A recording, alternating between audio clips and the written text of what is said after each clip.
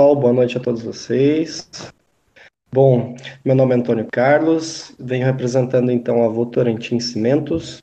É, Para quem conhece, nós somos o grupo Votorantim, né, onde tem cimentos, energia, metais, suco de laranja, transportes, enfim, Aqui uh, nós não falaremos do grupo, o potencial desse, desse projeto, desse, desafio como sendo grupo, e sim nós vamos falar apenas de Votorantim Cimentos.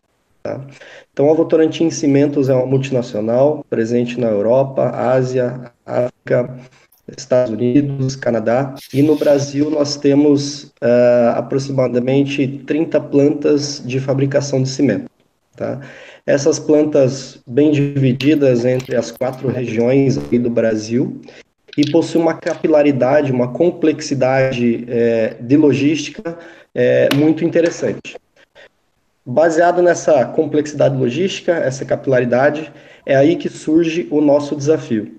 Nós lançamos sete desafios e eu vou estar representando apenas um deles, né, que nós chamamos de almoxerifado virtual uma forma bem simples, o que, que é esse desafio? Com essas 30 plantas de cimentos que nós temos, nós fazemos a gestão de almoxerifado no que nós chamamos de materiais MRO, materiais de manutenção, reparo e operações. Basicamente, são os meus sobressalentes para manter um equipamento rodando, produzindo cimento. Tá? Uma maneira bem simples de esclarecer. É, dentro desses 30 ou mais almoxerifados que nós temos, a ideia é por, buscar por uma solução simples, que eu mantenha o compliance, que eu resgate produtividade e que eu consiga ter virtualmente uma gestão de almoxerifado através de uma célula centralizada. Ou seja, digamos que eu tenha 30 almoxerifados espalhados pelo Brasil, e em São Paulo, Curitiba, Recife, seja lá qual a metrópole ou cidade, eu tenha um, um, uma célula centralizada que monitore todos os acessos, todas as coletas de materiais dentro desses almoxerifados, todas as baixas via sistema e que eu consiga manter um padrão de compliance sem desvios e acuracidade do meu estoque. Tá?